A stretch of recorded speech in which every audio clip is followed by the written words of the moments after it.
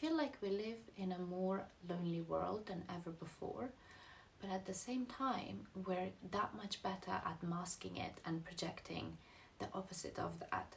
Um, we're constantly shown images of amazing happy relationships and childbirths and pregnancies, and everybody's showing how they're so well connected and are in this amazing clique of the cool people.